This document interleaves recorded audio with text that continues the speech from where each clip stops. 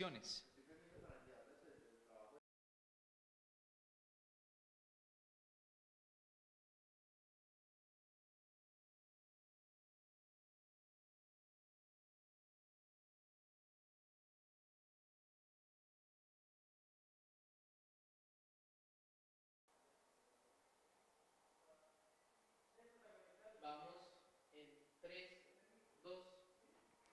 Bienvenidos a nuestro programa Dabar, la palabra de Dios más cerca de ti. Estamos haciendo unos programas especiales acerca del mundo de la Biblia. Hace ocho días hablamos del mundo de la Biblia en el Antiguo Testamento. Hoy vamos a hablar un poco del mundo de la Biblia en el Nuevo Testamento. Prepárense porque dentro de ocho días les hemos preparado una visita guiada en 3D al Templo de Jerusalén. Vamos a conocer la Jerusalén de la época de Cristo vamos a conocer el templo de Jerusalén de la época de Cristo que infortunadamente destruyeron los romanos en el año 70, eh, precisamente después de Cristo, valga la redundancia. Bienvenidos a nuestro programa Dabar, la palabra de Dios más cerca de ti.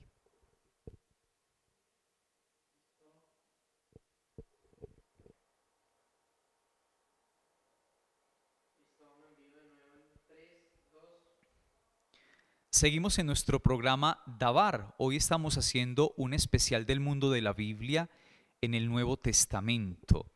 Eh, el Nuevo Testamento es esa parte de la Biblia que habla de Jesús, de los apóstoles, de la iglesia primitiva, todo lo que pasó y todo lo que ocurrió después de Jesús. Habíamos quedado la vez pasada, estábamos hablando de los templos de Jerusalén que ustedes están viendo en este momento en pantalla les decía que este primer templo que ustedes ven, el primer templo que ustedes tienen a la izquierda, dice ahí templo de Salomón. Templo de Salomón eh, fue el templo que destruyeron los babilonios en el año 586 antes de Cristo. Cuando ellos vuelven después del destierro en el 539, reconstruyen ese templo, tenemos el templo de Zorobabel y por allá en el año 19 antes de Cristo, Herodes el Grande padre de Herodes Antipas, va a construir el famoso templo de Herodes, que este fue el templo, el, el, templo que ustedes tienen a la derecha, templo de Herodes, fue el templo que conoció Jesús y que destruyeron infortunadamente los romanos en el año 70 después de Cristo. De ese templo, de ese templo únicamente queda esta plataforma que se llama el muro de los lamentos. Según la tradición hebrea, cuando se destruyó el templo, la Shekinah de Dios, es decir, la presencia de Dios, se posó sobre este muro que se llama el Kotel o el muro occidental, más conocido como el muro de los lamentos. Se llama así porque los judíos van allí a orar, ¿no? Se lamentan allí porque se destruyó el templo, están esperando que el Mesías venga para que reconstruya el templo. Y esa mezquita hermosa que ustedes ven ahí es la mezquita dorada la mezquita de oro. Ahí, exactamente, ahí quedaba el templo de Salomón, ahí quedaba el templo de Jerusalén. Debajo de esa cúpula está la piedra de la fundación del mundo, eh, que era donde quedaba exactamente el santo de los santos, donde el sacerdote únicamente entraba una vez al año. Entonces, con esta vista preciosa de Jerusalén, al fondo tenemos el, el monte de los olivos, allá tenemos el monte Scopus, el monte de los olivos. Eh, precisamente con esta vista vamos a meternos un poco a este mundo de la Biblia en el Nuevo Testamento. Acá tenemos unas murallas del templo de Jerusalén, eh, del templo no, perdón, tenemos unas murallas de, la Jerusalén antigua. Eh, bueno, tan, sí, estas murallas son antiguas, las construyó Saladino, pero Naturalmente estas murallas no las conoció Jesucristo, no las conoció Jesús. Hacen parte hoy de qué? De la, de la Jerusalén antigua. Cuando ustedes van a Jerusalén, se encuentran con que existe la Jerusalén moderna y está la Jerusalén vieja, la ciudad vieja, en donde está el Santo Sepulcro, en donde está eh, el cenáculo, en donde está la Jerusalén vieja, antigua, histórica. Vamos a, les quiero mostrar esta imagen esta es la, esta la, este es el Herodium. Este una, es una colina que hay cerca de Belén, donde el rey Herodes precisamente construyó un palacio que se llama el Herodium. Esa ciudad que ustedes ven allá luminosa al fondo es Jerusalén de noche. Jerusalén tiene aproximadamente un millón de habitantes en la actualidad. Es la capital del Estado moderno de Israel y es la, según la Biblia, es la ciudad del gran rey es la ciudad del gran rey, por eso para nosotros es tan importante. Esas son las ruinas del, del Herodium, que era el lugar donde uno de los tantos palacios que tenía el rey Herodes. Este es un poco la, la, planimetría, ¿no? la, el mapa, la geografía de la Tierra Santa en los tiempos de Jesús. El mar que ustedes ven a la izquierda, perdón, este mar que ustedes ven acá, el mar Mediterráneo, Abajo tenemos el mar muerto, que yo les decía ahora, está en el lugar más profundo de la tierra, a unos 300 metros debajo del nivel del mar. Allí hace un calor aplastante, seco, brutal.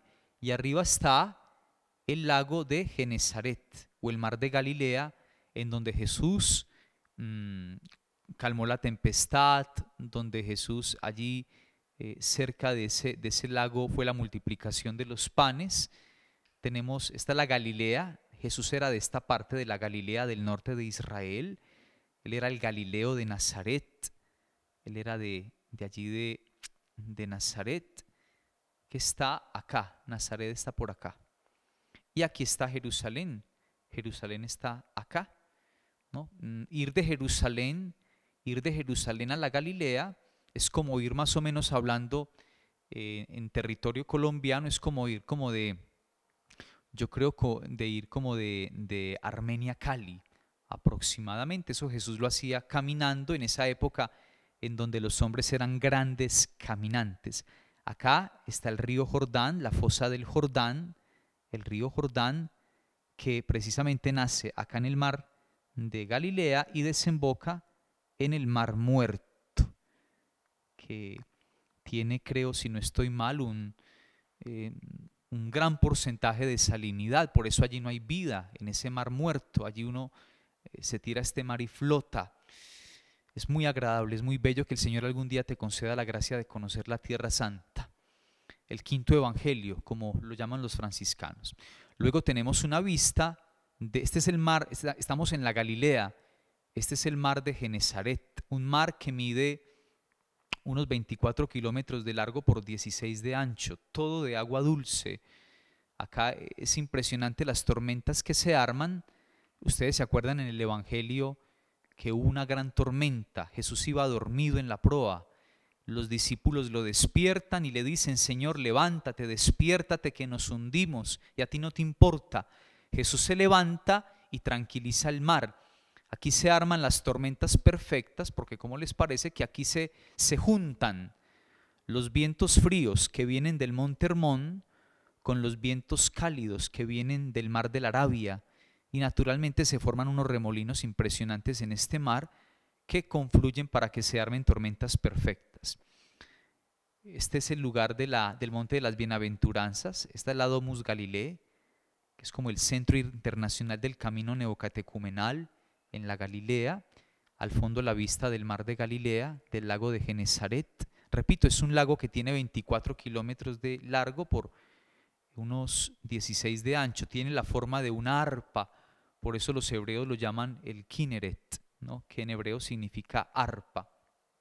Volvamos otra vez a Jerusalén. Acá tenemos una mm, planimetría, la Jerusalén de la época de Cristo. Acá está el templo, Acá está la ciudad alta, que si Dios quiere vamos a conocer la próxima ocasión en 3D. No te puedes perder el próximo programa. Dentro de ocho días, queriendo Dios, vamos a meternos a esta Jerusalén, pero eh, va a ser una visita virtual en 3D. Vamos a entrar al templo, vamos a conocer el santo, vamos a conocer el santo de los santos, el velo que se rasgó cuando murió Cristo. Esta es un poco la, la Jerusalén de la época de Cristo, la ciudad alta, la ciudad baja, eh, las piscinas, la piscina de Siloé, acá abajo, donde se cura un ciego, la piscina de Bethesda, o la piscina probática también se llamaba así, y luego terminamos, o vamos terminando, con esta imagen de Jerusalén desde el Monte de los Olivos. Esta es la famosa puerta de la misericordia, por donde según la tradición hebrea entrará el Mesías cuando venga. Está la Jerusalén moderna arriba, está la Jerusalén vieja en donde está esta mezquita dorada. Luego tenemos un poco la, el relieve de la Tierra Santa. Acá está, para que se hagan una idea del lugar más profundo de la Tierra, ¿no? el Mar Muerto que está a unos 300 metros debajo del nivel del mar. Jerusalén está a unos 800 metros sobre el nivel del mar. No es tan alto como Bogotá, que está a unos 2.600 metros sobre el nivel del mar. Sigamos acá, una vista del mar muerto. Acá está el mar muerto, estamos en el lugar más profundo de la tierra. Eh, por acá en este desierto es donde están las cuevas del Qumran, donde encontraron los manuscritos más antiguos de la Sagrada Escritura que datan aproximadamente, hay manuscritos ahí desde más o menos que datan del segundo siglo antes de Cristo, los más antiquísimos. Seguimos acá, esto es un poco de comida típica de allá, el humus, que es una salsa que hacen con garbanzos, un poco de ensalada, un poco de frutos de allí, de la, un poco de dieta mediterránea, todo a base de aceite de oliva. Luego mm, esta estrella es la estrella de Belén, donde según la tradición nació Jesús, en Belén. Luego tenemos una imagen del monte Calvario, acá está, acá abajo está la piedra, ¿no? el Calvario, la piedra donde según la tradición eh, mm, fue enclavada la cruz fue enclavada la cruz. Aquí hay elementos arqueológicos antiquísimos de los primeros siglos que constatan que precisamente este fue el lugar de la crucifixión. Luego tenemos el, el frontis, por decirlo así, la entrada del Santo Sepulcro. Está la entrada a la iglesia del Santo Sepulcro y del Calvario. Este es el Santo Sepulcro, a un lado, está a un lado del Calvario. Esta es, una, esta es la edícola del Santo Sepulcro y aquí adentro, cuando uno entra, ¿Qué se encuentra esto? La piedra donde lo pusieron, la tumba vacía. ¿no? Recuerden que dice el Evangelio que fue sepultado en una tumba nueva, en una gruta excavada donde nadie había sepultado. Y termino hablando de Juan, del evangelista Juan. Recuerden que según el evangelista Juan, cuando lo pusieron allí en el Santo Sepulcro, le pusieron aproximadamente unos 100 litros de perfumes, que en equivalencia romana se equivale a unos 30 kilos, 33 kilos de perfume, que era lo que en la antigüedad se utilizaba para qué? Para sepultar a un rey. En el fondo Juan, ¿qué está queriendo decir? Jesucristo es rey. El Jesús de la pasión en el Evangelio de Juan es rey, por eso es coronado de espinas. Por eso los soldados romanos dicen, viva el rey de los judíos. Jesús muere en un trono que es la cruz y luego es sepultado con, como un rey, como un rey. Así vamos terminando esta segunda parte del el mundo de la Biblia. Hoy del Nuevo Testamento, hoy en la época de Jesús, nos encontramos para una próxima ocasión. Las preguntas las pueden dejar acá abajo y qué rico que hayamos compartido eh, un poco este, este mundo de la Biblia con ustedes. Muchas gracias. La palabra de Dios, Dabar, la palabra de Dios más cerca de ti. Muchas bendiciones.